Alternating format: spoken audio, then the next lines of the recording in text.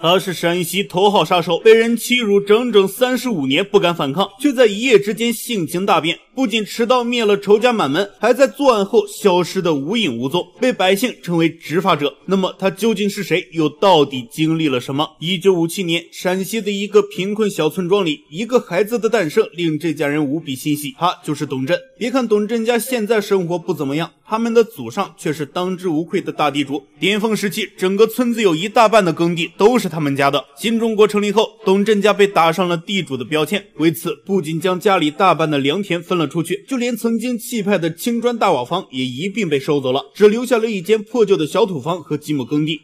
然而，即使他们已经生活贫苦，但村里的人还是没有忘记他们祖上的剥削行为，因此他们家并不受人待见。村里人甚至会刻意欺负他们。在长期的折磨欺辱中，董父的一条腿被打断，家中妻女被拉上街游行，最终双双离世。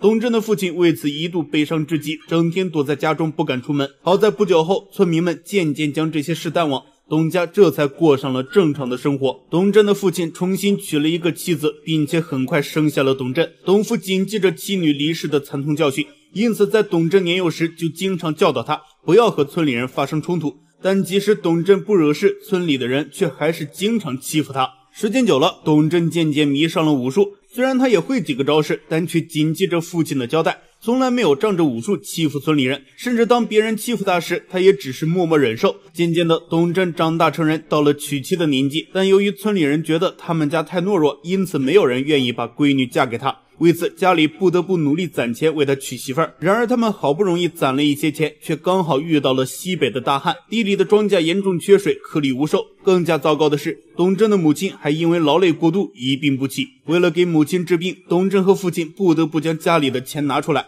然而，等所有的钱花光后，董母的病情却并没有一点好转，最终还是没有挺过去，永远的离开了他们。董母的离世令董家父子伤心不已。但逝者已逝，他们的生活还要继续。由于买不起棺材，他们只能用草席将董母的尸体草草裹起来，埋在了自家耕地里。正当他们准备重整旗鼓，好好生活时，却再次遇到了波折。我希望，希望活的人希望，希望。他被人整整欺负了三十五年，祖坟被人推平都不敢反抗，却在父母被害后一夜之间性情大变。不仅屠杀仇家满门，还在作案后消失的无影无踪。他就是曾轰动一时的山西双刀悍匪董振。董振生活的村子里有个叫郭宝才的村霸。由于他们家有门路，舅舅又是乡长，所以村里人都不敢招惹他。因此，郭宝才越发嚣张，只要他看上的东西，就会想方设法的弄到手，并且他还不允许别人顶撞他。稍微让他不满意，他就会召集手下狠狠的教训不知好歹的人。这天，郭宝才突然来到董家，转了一圈后，觉得董家风水好，因此要在这里建房子，命令董家父子赶紧搬出去。其实，郭宝才一共强占了三户人家的房子，只不过他给了其他两户一点钱。其他两户虽然心有怨言，但谁让郭宝才有钱有势呢？那两家人都不敢招惹他，因此拿了钱就乖乖的搬走了。而轮到董振家时，郭宝才觉得董家人丁稀少，平常欺负他们时，他们连屁都不敢放一个。为此，他认准董家父子好欺负，所以不仅没有给董家一分钱，还直接找上门，嚣张的命令董振赶紧搬走。董家父子上门讨说法，结果却被一群五大三粗的彪形大汉拦住，不仅连郭宝才的面都没有见到，还被这群人痛打了一顿，并强制为他们搬了家。董振和父亲身无分文，又无家可归，无奈之下，只能住在自家耕地上，临时搭建了一间茅草屋。由于原材料只有茅草和泥巴，因此房子既不能遮风，也不能挡雨。在这样的房子里住着，不仅身体受折磨，每次想起来住在这里的原因，更是糟心不已。在身心的双重折磨下，董父很快就一病不起。由于家里实在拿不出钱为父亲看病，董振只能眼睁睁地看着父亲病死在他面前。只要想到父亲临终时连一个遮风挡雨的家都没有，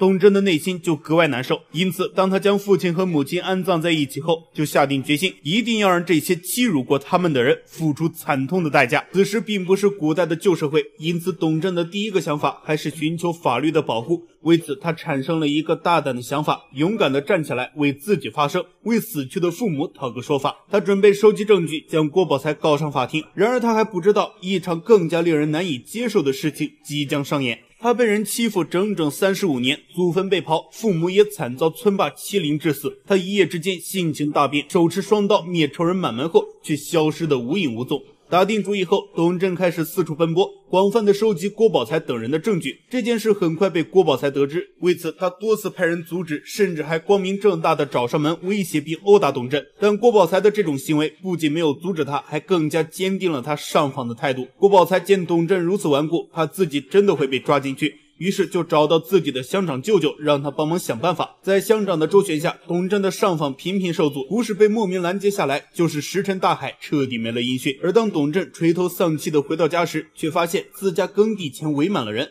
还有一群人正在他家耕地里忙活。董振心头一紧，猜测可能又是郭宝才在整什么幺蛾子。上前一打听，却令他瞬间火冒三丈。原来郭宝才竟然以要为自家建祖坟为由，请来工人将董振家的祖坟给推平了。